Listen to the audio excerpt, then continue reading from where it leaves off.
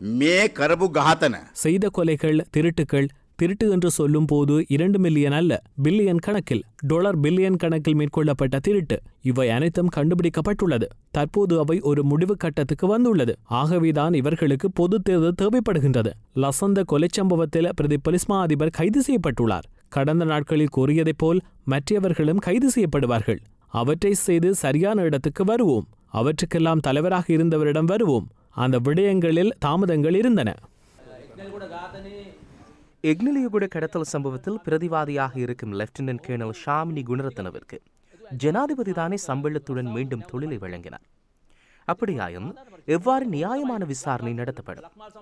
இதே போலத்தான் லக்மான் சம்பத் என்ற ஊடகவியலாளர் இரண்டாயிரத்தி ஐந்தாம் ஆண்டு கடத்திச் செல்லப்பட்டார். குற்றப்புலனாய்வு திணைக்களத்தினர் கைது செய்கின்றனர். எனினும் ஜனாதிபதி மன்னிப்பு வழங்குகிறார்.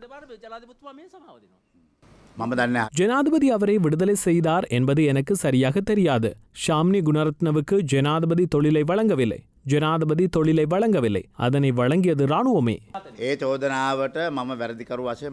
ஊடகவியலாளர்களின் கொலை தொடர்பில் மஹிந்த ராஜபக்சவுக்கு எதிராக குற்றம் சுமத்தப்பட்ட விடயத்தில் நானே தவறு செய்துள்ளேன் என்பதை ஏற்றுக்கொள்கின்றேன். அதன் காரணத்தால் தான் தொடர்ச்சியாக கூச்சலிடுகின்றனர். தற்போது உள்ளதை விட சத்தமிட்டு இதனை சொல்லுங்கள். அதற்கு நான் ஆதரவு வழங்குகின்றேன். கோரும் அனைத்து உதவிகளையும் வழங்குகின்றேன். குறைந்தபட்சம் இந்த தேர்தல் முடிவின் பின்னராவது ஊடகவியலாளர்களின் கொலை தொடர்பில் நடவடிக்கை எடுப்பதற்கு எமக்கு உதவி செய்யுங்கள்.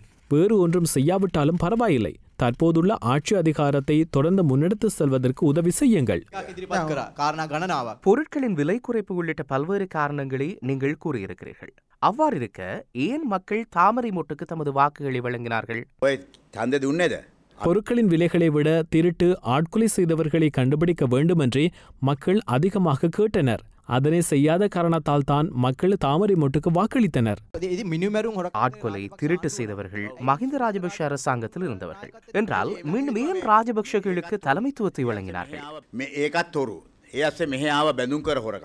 அவர்களும் திருடர்கள். இங்கும் பிணைமூறி திருட்டு இடம்பெற்றது. எமது தரப்பினரை மேடை போட்டு பிணைமூறி திருட்டு தொடர்பில் குறிப்பிட்டனர். பிணைமுறி திருட்டு மூலம் பதினோரு பில்லியன் ரூபாய் நட்டம் ஏற்பட்டதாக நான் கூட்டங்களின் போது குறிப்பிட்டேன். பனிரெண்டு பில்லியன் ரூபாய் அவரிடமிருந்து முடக்கப்பட்டுள்ளது. ஆகவே ஒரு பில்லியன் அதிகமாக இருக்கின்றது. ஆகவே பிணைமுறி விற்பனையில் ஒரு சதமேனும் அரசாங்கத்துக்கு நட்டம் ஏற்படாது. பிணைமுறி விற்பனையில் இரண்டாயிரத்தி எட்டாம் ஆண்டிலிருந்து இரண்டாயிரத்தி பதினான்காம் ஆண்டு வரை நான்காயிரம் பில்லியன் ரூபாய் நட்டம் ஏற்பட்டிருக்கிறது நான்காயிரம் பில்லியனை எடுத்துக்கொண்டால் பதினோரு பில்லியன் என்பது நூற்றுக்கு தசம் இரண்டு ஏழு ஐந்து வீதமே. நீங்கள் உட்பட எமது தரப்பினர் அனைவரும் கதித்தது தசம் இரண்டு ஏழு ஐந்து வீதம் தொடர்பில் தான். தொன்னூற்றி ஒன்பது தசம் ஏழு இரண்டு ஐந்து வீதம் தொடர்பில் யாரும் கதைக்கவில்லை. ராஜபக்ஷக்களின் தவறு மோசடி ஊழலை கண்டுபிடிக்கவா மக்கள் கூறும் சலுகைகளை வழங்கவா? இந்த அரசாங்கம் அடுத்த இரண்டு வருடங்களை செலவழிக்கப் போகின்றது.